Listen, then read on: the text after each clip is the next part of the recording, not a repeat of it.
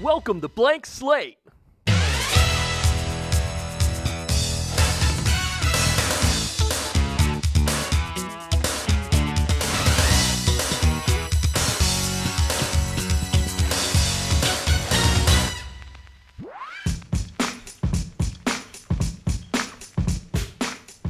Wow, I'm impressed that you stuck around after that. That was a truly horrible opening. But the truth is, elements of that opening used to be the way to go. Now we simply watch it and cringe. What was great yesterday is meme worthy today. You have to stay on top of current trends if you're going to communicate effectively to your customer. Now, if opening up After Effects is intimidating to you, consider downloading some modern templates. They'll help you stay on top of current trends and demystify some of the elements of After Effects. Don't use templates. Okay, I guess it's time for us to introduce Senior Airman JT Armstrong to the set. Hey, how's it going? Fantastic. How are you? I'm good, good. Thanks for coming out here. Thanks for having me. Yeah, first thing I gotta ask you though, why are you anti-template? Well, I wouldn't exactly say I'm anti-template. I think there's a right and a wrong time to use templates. I always prefer to be original, make everything in After Effects if possible, but sometimes there is that crunch time where you have a deadline and you just have to use a template. Okay, I can't really argue with you on that as much as I'd like to. Um, now, if you haven't had a chance to watch the print and web graphics tutorial yet, pause here and watch that episode first, because in that episode, we talk about universal principles of design that are going to apply to this episode as well.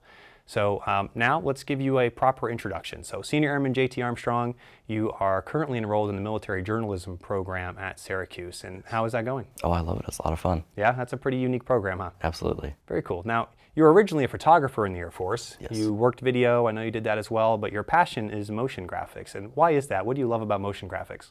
Well, as you said, I love video and I love graphics, so the ability to combine those two mediums together to be able to tell a story or make a message is just a lot of fun. Um, again, you actually created the blank slate intro for the whole series, which you did on your own time, and I greatly appreciate that. Um, and we have you here because you're going to break this down for the audience and show them how you did it. So in order to do that, the first thing I want to do is actually cut to the blank slate intro. I want you, I want you to watch it from beginning to end. Pay attention to all the different elements that you're going to see flying across the screen because we're actually going to show you how he key, keyframed those elements in the final product.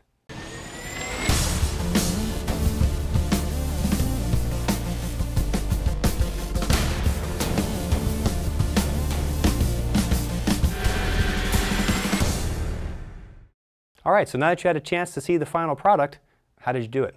All right, well, I started by opening up an After Effects project. Okay. So when you open up After Effects, it automatically makes a project, and your project is what holds everything. I'm going to make a new composition, go up to Composition, New Composition, and as you stated, you wanted a project that was full HD, 1920 by 1080, and I also made it 24 frames per second just to make it look natural on the eyes. So We'll open that up, and that is how we get our project started. And I see you have a lot of different elements uh, already in the project. So how do you organize these different elements? I know in Premiere it's really important that you pay attention to the back end, you know, that you put the files in a proper place so Premiere knows where to find it and you know where to find it. Is it similar in After Effects? Very similar in After Effects. So I actually keep a folder on the desktop or wherever you like to keep it, and I call it either Project Assets or I name it after the project file, and I save, as you can see, our blank slate project file in here. I save all of our text, our font, our videos, anything that I need that in case I need to move the file anywhere, all these files stay with it. After Effects doesn't lose it. So project management is extremely important. Okay, that makes sense. And I know uh, it's good that you include the fonts because if you did have to take this to a different system, not all the same systems have the same fonts. Now, where do you actually get the elements from? Are you finding these online? Are you building them yourself? So I tend to stay towards that original side and I prefer to build it myself in Photoshop. But if you're not comfortable building your own in Photoshop, you can always go online, do a quick image search for images that are labeled for reuse with modification so you're not um, violating anyone's copyright. So if we go back into your project, I know that you know I gave you kind of rough direction in a sense where I said, these are a couple of intros that I like. I'd like to make something in that style. And then I gave you an audio track. So once you have that audio track, what are you doing? What's, the, what's some of the different elements that you started with to create this? So the first thing, as you said, I took that audio track and I just dragged and dropped it right down here in the composition.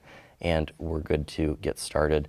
So I started off with the film strip actually. So we'll take our film strip graphic from the projects, drag and drop it down here.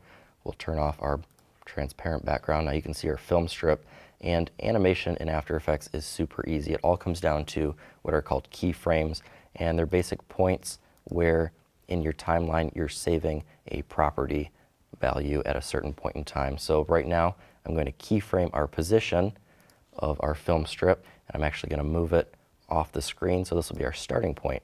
And if I scrub our time slider a little bit forward in time, and I move our graphic element across the screen, After Effects will automatically create a new keyframe where I moved the graphics. So if I scrub back in time, we just made a very simple animation. You built this one film strip here, but you've got a lot of film strips moving in this project. So how did you get them all moving? Did you create them independently? Did you duplicate layers? How did that work?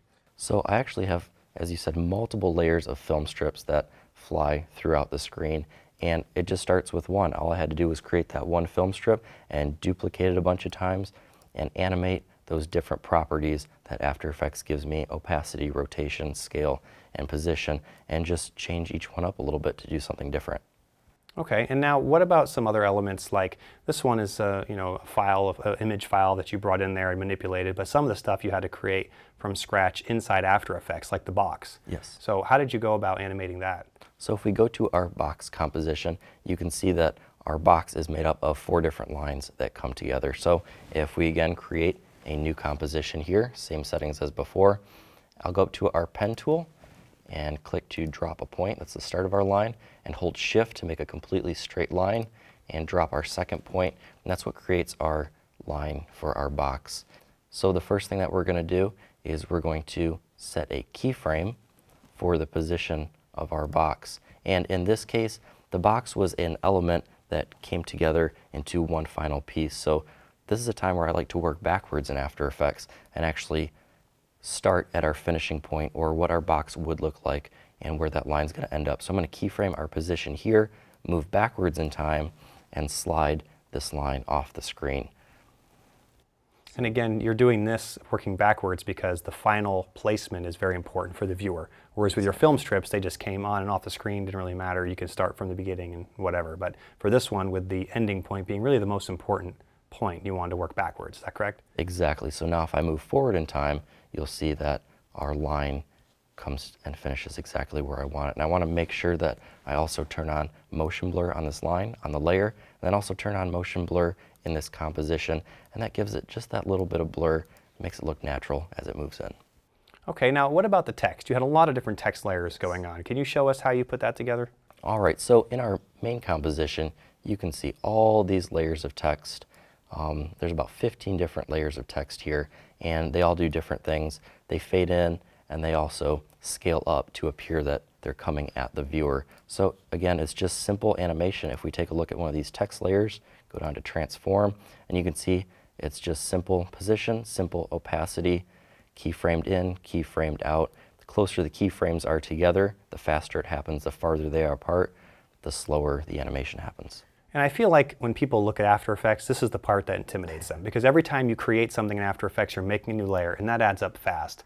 So, what are some tips you can give folks for organizing all these different layers so you don't end up with a hundred of them when you open up your project? So organization is absolutely important. You can see we have about 30 layers here, and probably 10 or 15 of them are these text layers right here that are all kind of similar. They have the same purpose. So I can actually select all of those layers down here, go up to Layer, Pre-Compose, and that will create a new composition to hold all of our layers. We'll click OK, and as you can see, we just flattened it down to one single layer of all of our text. So I can go back and edit these text layers if I need to. So I can double click on this pre-compose layer and you can see all of our text layers are still editable in this composition. And any changes you make in that's going to affect the main comp. Yes, it will. Now, we talked a lot about the technical aspects of how you create this and how you manage it, but what about the art form? I know for this particular project, it really is just a short music video, right? So could you walk us through how you determined what elements were going to come on the screen, when? Sure. So you gave me an audio file to start out with. So actually, if I click this little tab right here, our waveform pops up and I can see these little blips or pops in our audio. So that's kind of what I use as my basis for animation. If I had a little sound bit that would pop up or get louder, I would have a little flash go off, just something extra to keep the viewer's attention. You always want to make sure that if you, per se, have text pop up, that the text is going fast enough that you're keeping people's attention, but not too fast for someone not to be able to read it. So you just want to kind of feel it out and do what feels right in your animation. And that's the art part of it. That's the subjective part, right? So, you know, you're going to have to just kind of go with what feels right, and then when you make something for your client, you're obviously going to have a back and forth as to as to what works. I think that's a great start for people to be able to gather some information about After Effects and to hopefully now get back to their units, dig into some of their own projects, and experiment. Um, but before we let you go, are there any final tips you have for for everybody?